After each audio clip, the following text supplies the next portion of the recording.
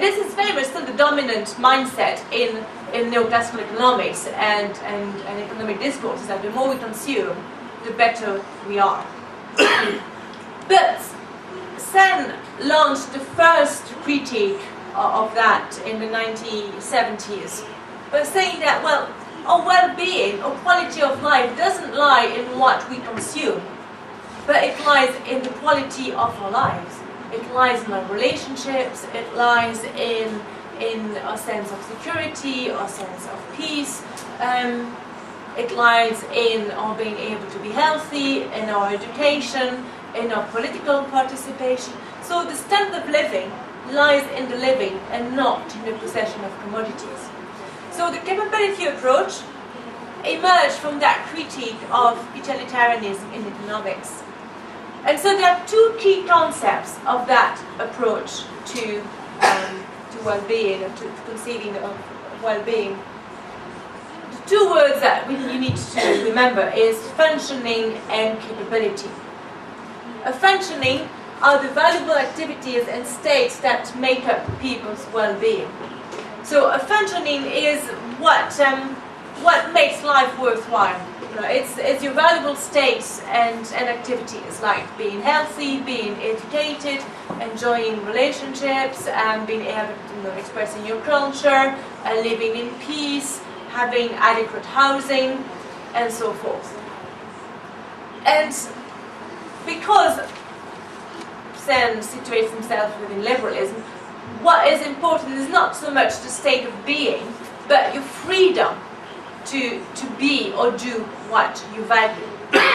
so he defines a capability, which is also now uh, understood as freedom, as a person's ability to do valuable acts or reach valuable states of beings.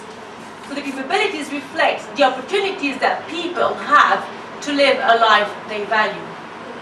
And just to illustrate um, the distinction, is the example of the fasting monk and the starving child. They both have the same level of functioning. They are both malnourished. But the monk has the capability to be nourished, but he chooses not to be nourished. He chooses to fast for some reasons. But the starving child doesn't have that choice. So the focus is on the capability, not on the functioning. Another example that we could we can give to illustrate that distinction between function and capability is of failing an exam. You have two children that both fail an exam. The one comes from a very rich family and she has all she, she wants and she doesn't bother about studying because she knows that her parents are rich and she doesn't have to work and so she fails all her exams. But another girl, she has seven siblings to look after. She comes back from school, she has so many work to do at, in the house, she doesn't have even a table to do her, her housework. She wants to study, but she just can't, and she fails her exam. So both have the same level of functioning, they both fail the exam, but one has the ability, she has the opportunities to be well educated, but she just doesn't bother and the other one doesn't have the same opportunities. So the distinction is quite important in, in, in, in many ways. And just a note about the, the vocabulary. It's, um, it's very unfortunate, this word capability, which in Spanish is capacidad funcionalidad. Um, it's not user-friendly at all. And, um, and Sen always says that when, when he first articulated his critique of utility, he never knew that this term would would would take such a such a life on its own. And this is why today he uses more the, the word freedom as a synonym for capability because it's more understood. Um, it's it's more easily translatable as well. Um, and um, just to clarify the distinction between the capability approach and the income approach in economics. If you think about personal heterogeneities, in the sense that if you give the same amount of food to, um, to a man who is working on the field, who is a farmer, or, or, um, or, a, or a man who is retired and doesn't do much, well, if you give the same amount of food, they, they will need, um, they'll have a different outcome in terms of health. So in order for these two men to be well nourished, you will need to give much more food to the person working in the fields than the person who sits at home the whole day. So this is why he says we need, you know, incomes are not a good indicator of well-being. You need to look at the outcome. And there are also environmental diversities. Now, if you if you live in, in a warm climate or if you live in Moscow, you will need a different amount of, of, of commodities and income in order to be warm and to be sheltered. There are also variations, what he says, of social climate, the extent of public services. If you live in a country that has free education and free health services, you would need a, a, a low, a less, a, um, a smaller income than in order to be healthy and educated than if you live in a country that doesn't have these public services. And there are cultural differences as well, and then distribution within the family. And um, if you think about family income, well, where does the family income go? In some countries, the income might go to pay for the food and education of the boys and not the girls. And this is why the capability approach is very individually focused. It looks at what um, what each individual is able to do or, or. So it looks at the outcomes of each individual and not in terms of family. And there are also differences with the happiness literature. Um, if you if you think about well, being happy is not the same as living a, a fulfilled uh, life or uh, um, and uh, there was the, case of slum dwellers in India that reported themselves as happy as middle class students. And so some psychologists went you know, trying to research that. Why is it that that, that people in, in slum dwelling areas are as happy as um, as uh, as uh, middle class students? And um, and so if you look, if you stop at the level of happiness. You say, well, these slum dwellers are happy, so we shouldn't do anything to them. But the capability approach goes beyond that and says, well, it's not because they report themselves as happy that they don't live in objectively um, bad, situ bad situations. So the capability approach focuses very much on the objective conditions of life. And by the way, the reason for, for which um, the, the slum dwellers were, were happy is because they were they uh, they had family relations and friends, and um, and, and this is what what brought the the bigger sense of, of fulfillment. Even if they lived a very poor lives, they tried to but they developed mechanism to cope with their lives, and they put a high emphasis on relationships as opposed to to other aspects of their lives where where they were deprived. And then there was, there's also the issue um, of um, of uh, subjective aspects in, in, in health that, that um, indicates the limitations of the subjective approach to well-being. That people, the women might say, yes, I'm fine, I, I, am, I feel, I don't feel ill, but then when you look objectively at their, uh, their nutrition rate and anemic level, they suffer from anemia. But because they have adapted themselves say that, well, if I'm a woman, it's, it's normal that I feel weak, uh, so, so I'm, I'm fine. So there is a big difference between subjective evaluations of well-being and the objective evaluations of well-being. What's um, in the literature is called adaptive preferences. People adapt themselves to their, to their situation, and they, the slum dwellers have adapted to their poor conditions and try to make the most of, of their situation. Or the women have adapted themselves to their situation of being ill, and they cannot even see that they are ill. So the capability approach is very much at the objective level. And so I come back to um, to then the justice and reasoning. Just do my last slide about the liberal foundations of Sen. So the reason, one of the reasons for which Sen is so popular today, or so um, uncontroversial, is that he situates himself very much into the dominant liberal discourse of freedom. That, now if you called the capability approach itself is freedom approach. It's about the freedom that people have to live a life in value.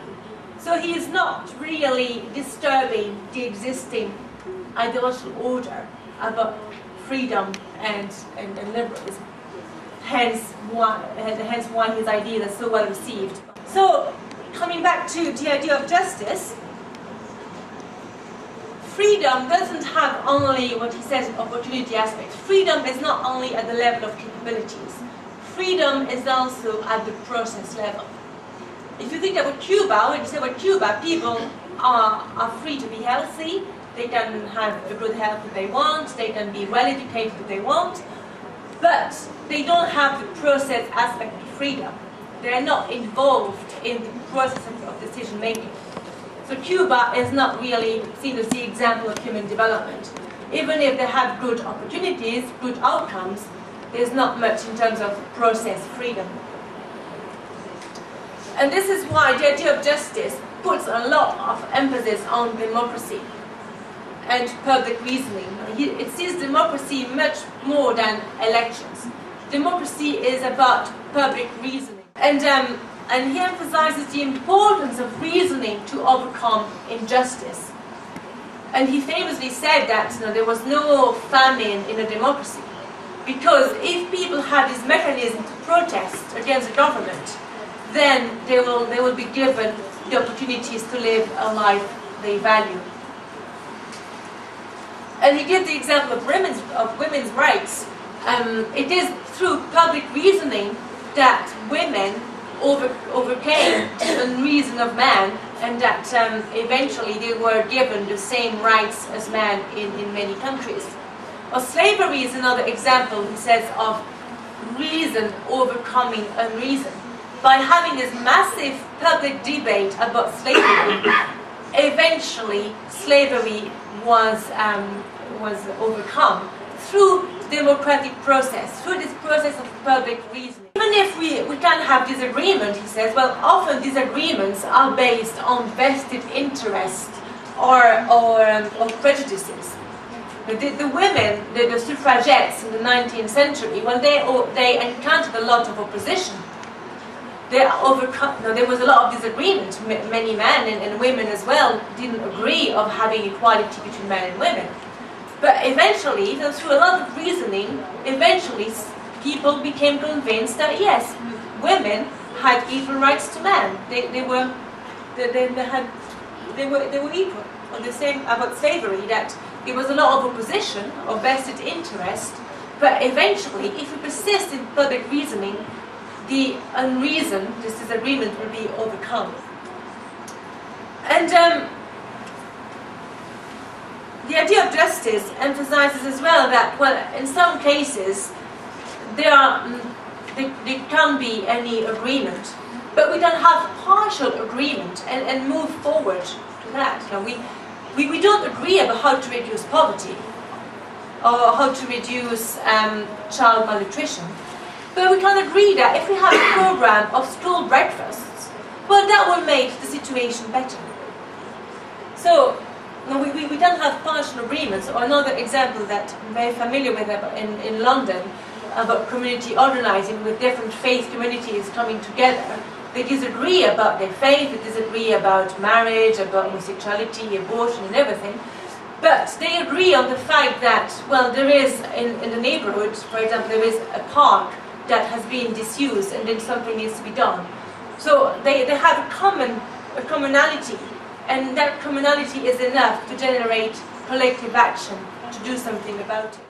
So that's for the idea of justice, and maybe I'll stop here one minute just in case there are questions of clarification um, about the idea of justice. So freedom and reasoning, you see why freedom is so important about the opportunity aspect, you know, that justice is about enabling people to be free to live a life they value and reasoning. It's through reasoning that we can reach that. So how to confront that to the reality? Well, the idea of justice is, the book is surprisingly silent about real life examples. And it uses this, um, this um, example of a flute. And um, so you have a flute that has to be allocated between three children. One who has made it, one who has no toy and only a flute to play with, or a child that can play the flute? And then ask the question, to whom should the flute be distributed? If you give it to the one who plays the flute, well, the flute will be used to, to play music. But then what about the one who has no toy? Or what about the one who's made it? Doesn't he deserve to have the flute? And Sen doesn't really answer who should have the flute. All he says is that we have competing principles of justice. Should we redistribute according to merit, so the one who has made the flute? Should we distribute according to, um, to happiness, the one who has no toy? Or should we distribute it according to excellence, the one who plays the flute should, should have it? Since well, there are competing principles, and that's, that's what democracy is about. Through reasoning, well, if we, we let the three children talk to, to each other, they might find an agreement, and, um, and we don't know, but that's, that's what justice and, and democracy is about, he says. And I have to say that as far as, as he goes to discussing the nitty-gritty aspects of justice. So he says there disagreement about justice. But fortunately, in his works with Jean Drèze, uh, uh, an Indian, Belgian origin economist, in, um, they are a bit more explicit about how the capability approach can act as a theory of justice. And they give the example of food policy and malnutrition in India. Well, in India, 50% of children are malnourished, and the level of anemia among women is very high. But in India, there is also a large food surplus. And so they ask, why is it so? And so they say, well, justice demands first an evaluation in the capability space. And look at the situation. People are malnourished. And then they ask, well, why, why is it so? But the reason for, they call hunger amidst plenty, is because farmers, the large-scale farmers, have a lot of politi political power. And they've been able to pass a law in, in, um, in the Indian um, state, at the, at the, state level, to, to maintain an artificial uh, price for food, to make sure that the large-scale producers get a lot from their product, but then the consumers suffer. The daily laborers and small farmers suffer from that food policy. And so they say, well, the solution to bring more justice, to enable people to be better nourished, is to have more reasoning, to deepen democracy. It's to increase the voice of the, the small farmers, to make them more organized, so that they can counter the voice of the most powerful.